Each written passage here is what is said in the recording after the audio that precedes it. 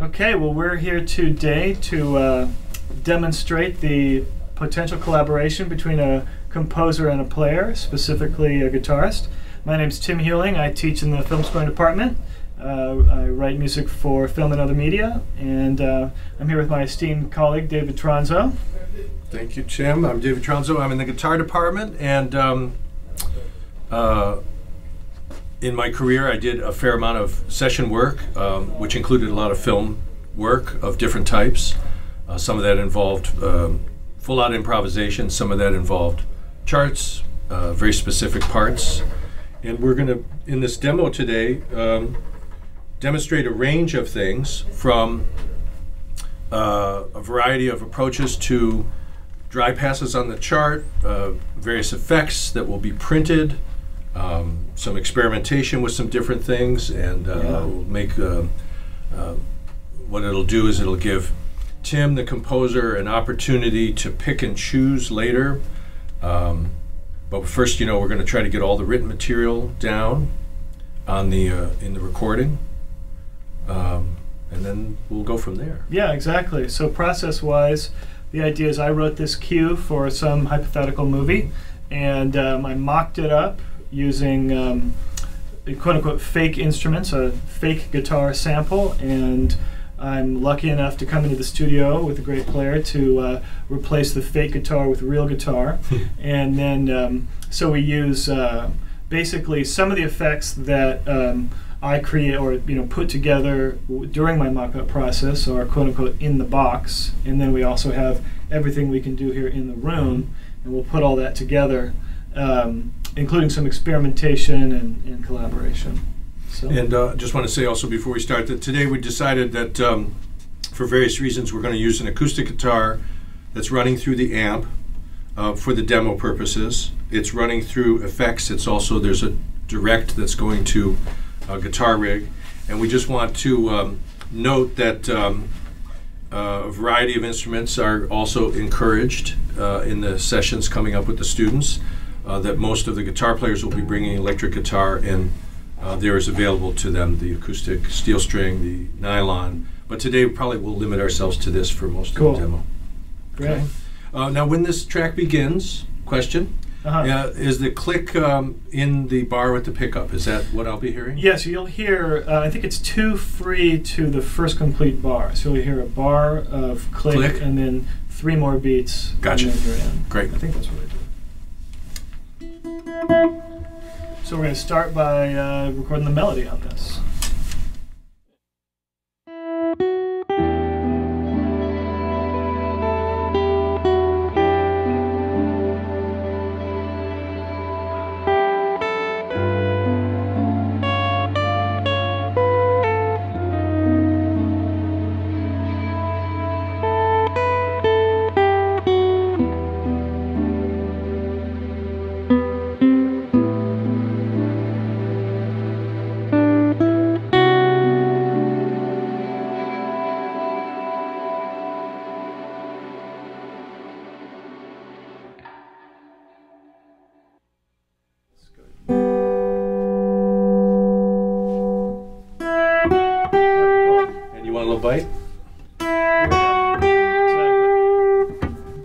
Okay, are we ready? We are. Yeah. Here we go, bar zero.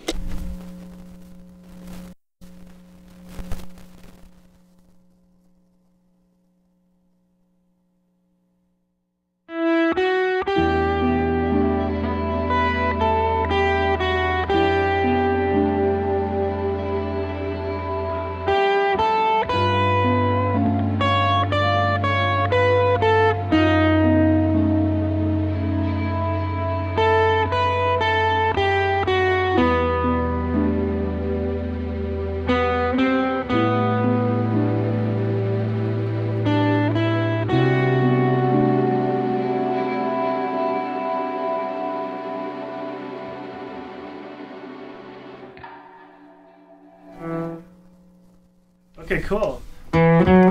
So another another approach would be to then take uh, take the guitar rig uh, plug-in set settings that I created and run into those. So let's I think we might as well which is going to be a whole other world.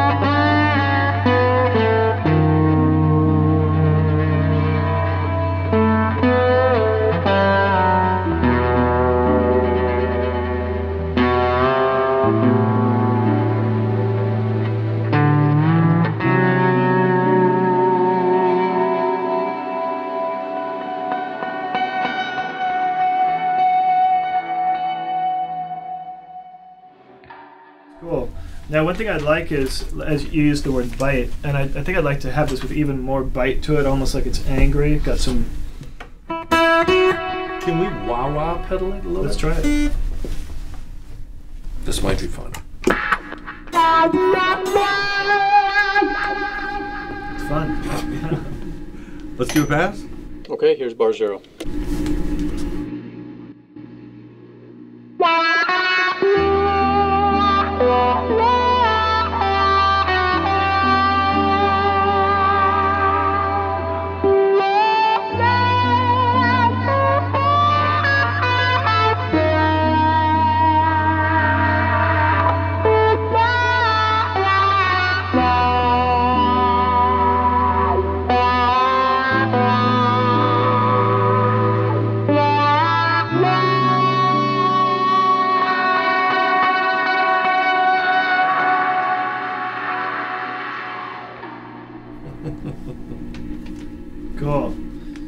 That gives me several versions of this melody to play around with later, some of which I can actually um, manipulate with Guitar Rig after the fact even further. So I've got lots of options now. Uh, so let's move on to, I guess, chords one. Okay. The second line there. And which of these versions of the melody do you want playback? Um, probably, um, let's see. Good question. Well, let's just for the sake of the demo, Yeah. let's review how many melodies we actually have. We have half a dozen there? Or? We have a dry pass, right, of the melody in the original octave, Yeah, two takes, Exactly. and then we have a distorted pass. hmm I think Distorted out here. distorted out here. Right. And before that, we did the guitar rig. Um, Well, there's a yeah, there's a guitar rig with guitar a rig. high pass with pick, Right. a low one with slide, high one with slide. Exactly. So there's this big yeah, this range. whole array, and I could even mix and match later. Let's go with high slide as what we listen to while we're tracking. Now, the chords that we're talking about here need Right. no distortion, less distortion. Yeah, exactly. Very, very little distortion, if any, and very. Um, the original concept was that they're very wet. They almost Right. sound like they're from a distance.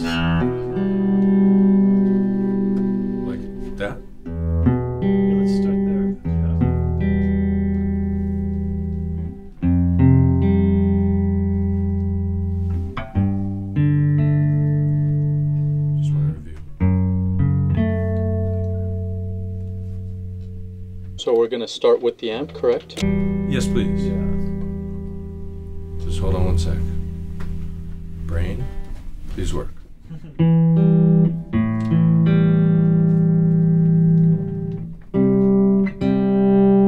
Now, can we get a sound that's a, a little less warm? Um, Uh, kind of. It might even just be, you know, how you're on the instrument itself. Like, it's got a lot of warm, kind of low mids in it, and I'm wondering about you want it in the same register, Right. it's a- but you want it A little brighter. Yeah, maybe something like that. just picked Yeah. closer to the bridge. Right. Yeah, let's try that. Let me just review.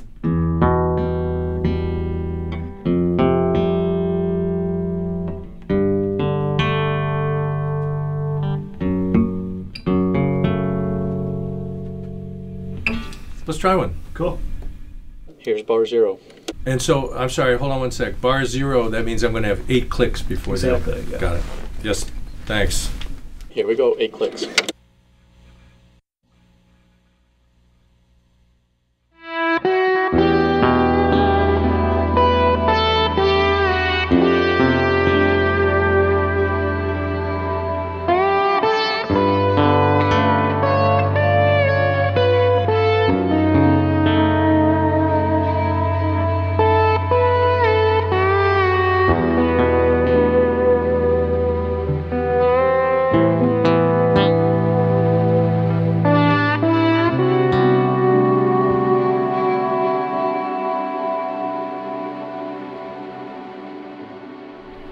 Shall we just One punch chord. in for the last two chords We there? could.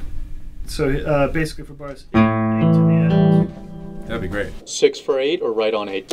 Um, let's do uh, yes. So we'll, the clicks will start at bar six, Yep. and you're in at bar eight. So you have a two four and then a four four before Oh. you come in. Yeah, like a bar and a half of warning clicks.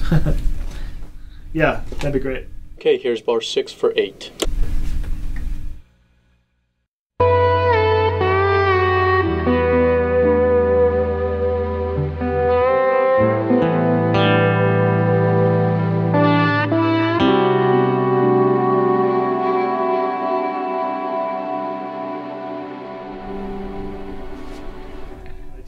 So another idea, especially as part of this collaboration process, would be to say, you know, let's have you do a version of this where we have a similar concept of arpeggiating up through these chords, but um, you choose the voicings Okay. that you think are tasty. I have a few moment. ideas here. I kind of was thinking about.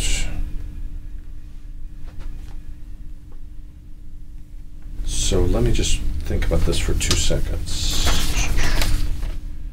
So there's a couple things I'd like to do. One is a pass with sort of arpeggiated chords that are going to sound like this. And then it's going to be. Uh,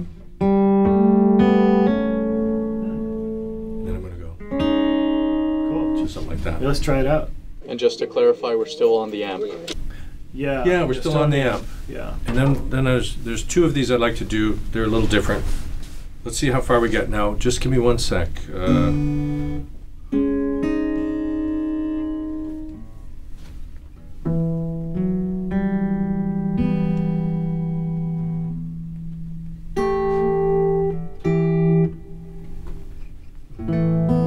there we go. All set. Cool. Let's try it. Here we go, bar zero.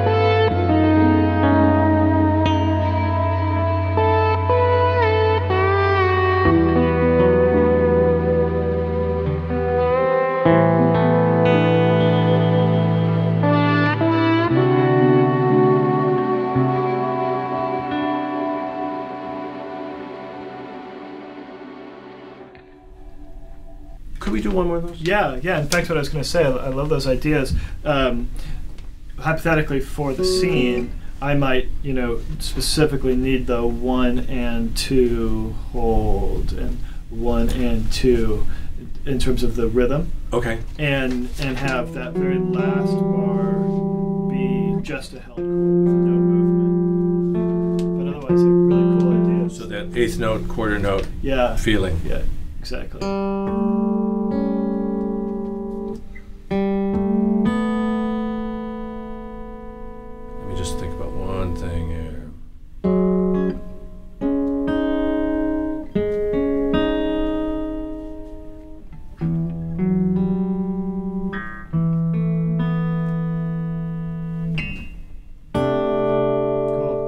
Cool. Yeah. that's Let's try nice. it. Do you still want eight clicks or would you like just four? You know, four would be fun. Mm-hmm. See if my brain can adjust. Okay, here's four clicks in. Thank you.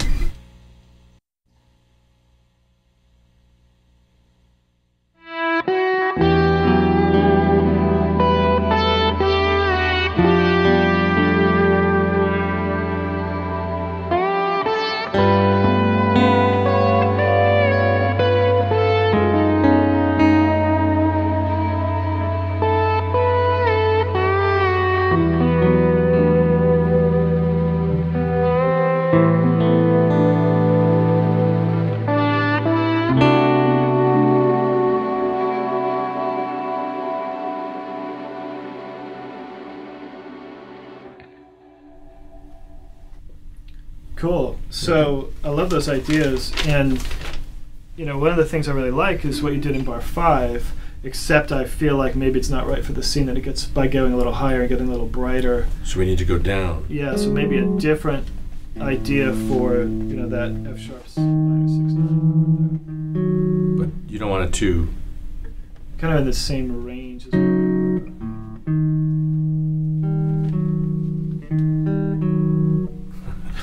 I'd